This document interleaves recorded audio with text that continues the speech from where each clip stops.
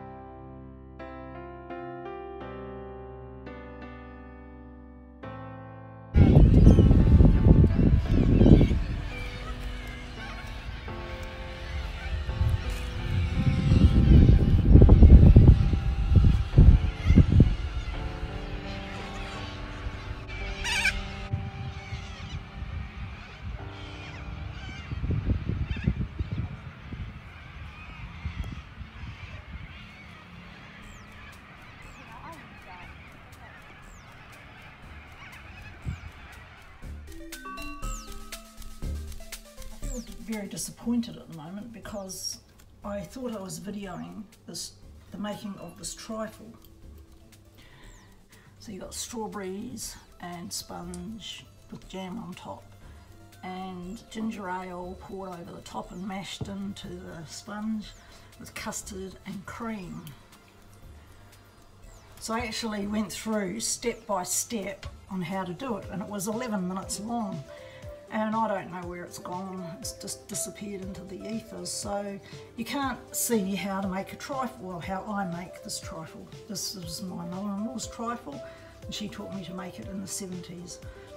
So all you need, as I said, is a punnet of strawberries, a sponge like you know the sandwich sponge or the round one, one layer just for a punnet of strawberries, two layers for two punnets of strawberries dry ginger ale and pour over the top. Mash it in with a, a masher if you've got one, just to let the juice soak through. So there's a bit of in the bottom, I don't know whether you can, oh, you can't really see it now. And then get your, your custard, that's your custard, dollop custard and dollop cream. And just spoon your custard on top of the, the sponge until you think that it's enough there poke a knife down the edge so the custard runs down into the thing, into the sponge, and then pile your dollop cream on top. I use one and a half of these. Um, that's how you make, how I make a trifle. And because most of the people that like my trifle live in New Zealand, I get to eat this all by myself. So, thanks, bye. Here we go, round two. This time it's a bacon and egg pie slash quiche think there's going to be more egg in it than bacon because I didn't get enough bacon out of the freezer. But anyway, I've prepared most of this, so it's going to be a lot easier for me to show you. We've got the peas that I always put in my pie, frozen, some onion, some tomato, some bacon, and this is uh, 10 eggs, which I've just got to beat. So I'll just start beating them now. And my nose is running because of the blooming onion. So you won't get to see all this because it's going to be too noisy. But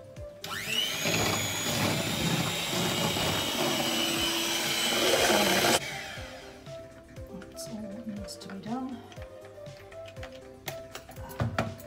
And what I do usually is I, oh, I've get the out. I grease the, the baking dish with the margarine, stop the pastry sticking.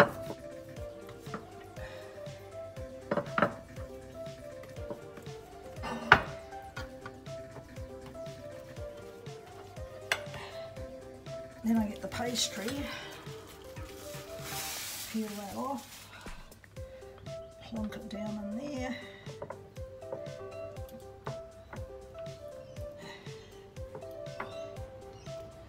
Everybody makes their bacon and egg pies different. So this is just the way I do mine. Right, then I pour the egg in.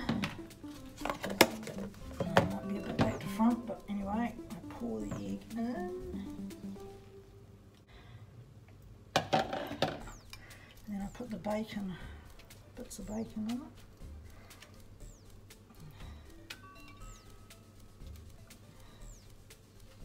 Hundred and eighty Fahrenheit.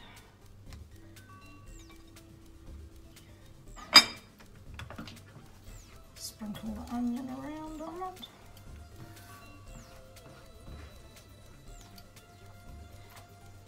It's probably more like a very large quiche, but I'll put a top on it. Throw the peas in.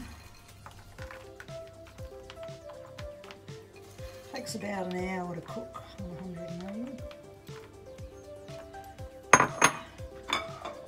Bit tomato.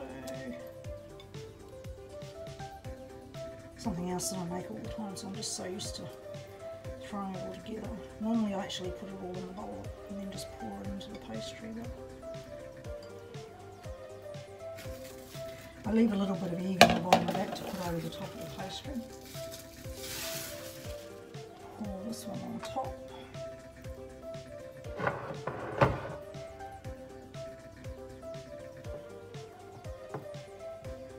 I think I forgot the cheese.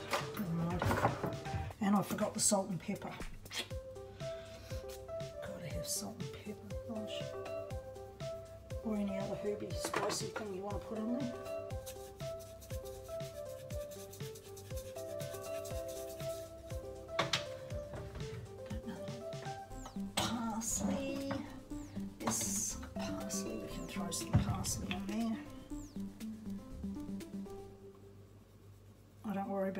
Supposed to go where, I just put whatever I feel like in at the time.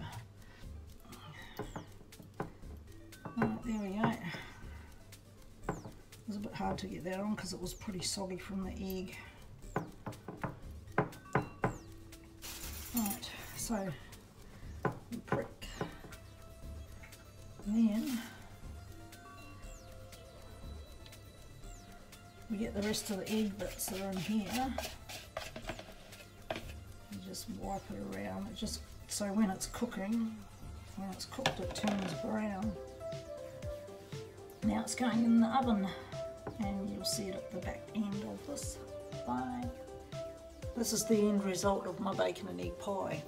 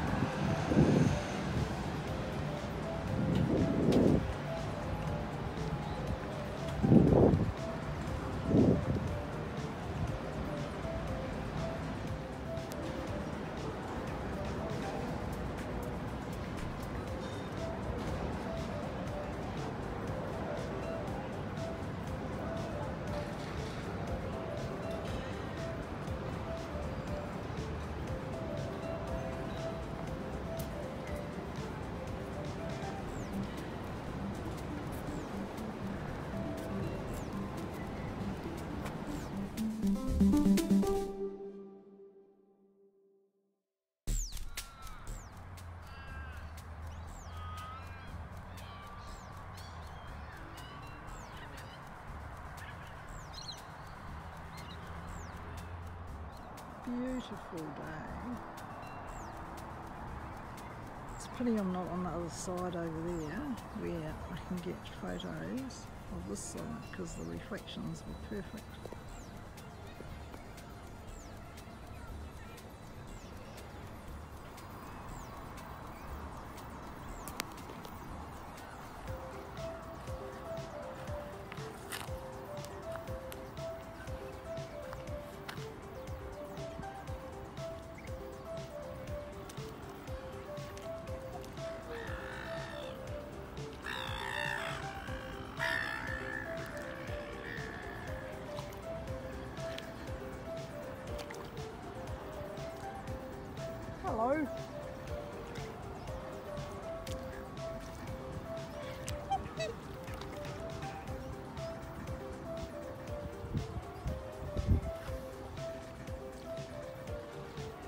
I haven't got any food.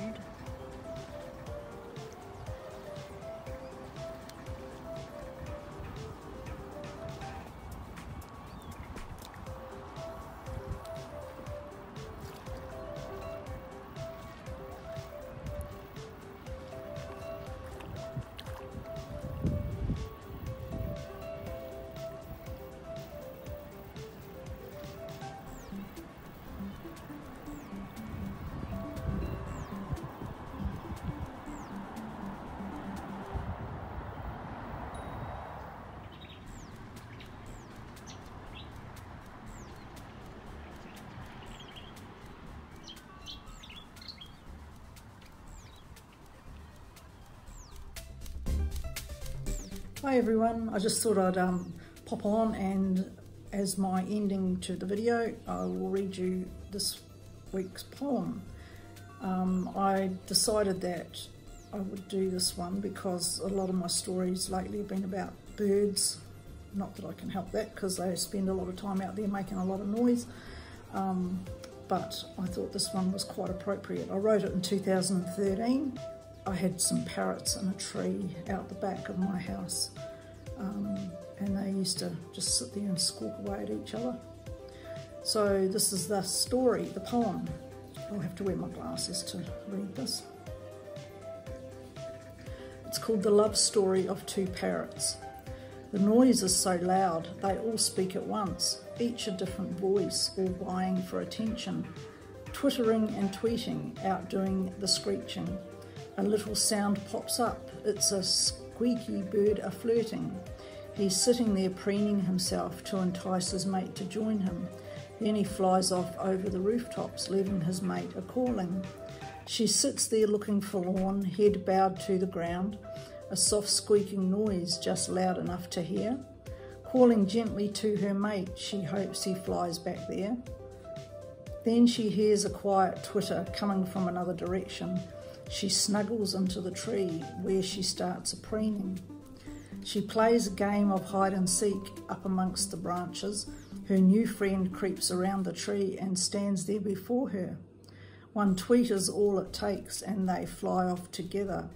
Her old mate returns tweeting out loud. High up in the tree, he looks around. She flies back and knowing her place. Softly they talk to each other's face. They are together forever you hear it in their sounds, watching and listening, it makes your heart glow. So I wrote that, yeah, sitting outside just watching these birds in the tree and just observed their whole demeanour for a good half hour and the words came to me, so that's the story. Um, sorry about the bit of a mixy bit about the cooking. I did actually record all that and as I said earlier, I don't know where it went. Um, so I had to just tell you what I did roughly at the beginning of it. So I hope you don't mind the cooking segment. It was just something off the cuff. I won't do it too often, don't worry. Oh yeah, the hair colour. I just decided to experiment. So it'll wash out eight washes and it'll be gone. Just thought it needed a bit of fun, something fun to do. Anyway, uh, next week will be a couple of different things, hopefully. So we'll catch you next time. See ya. Bye.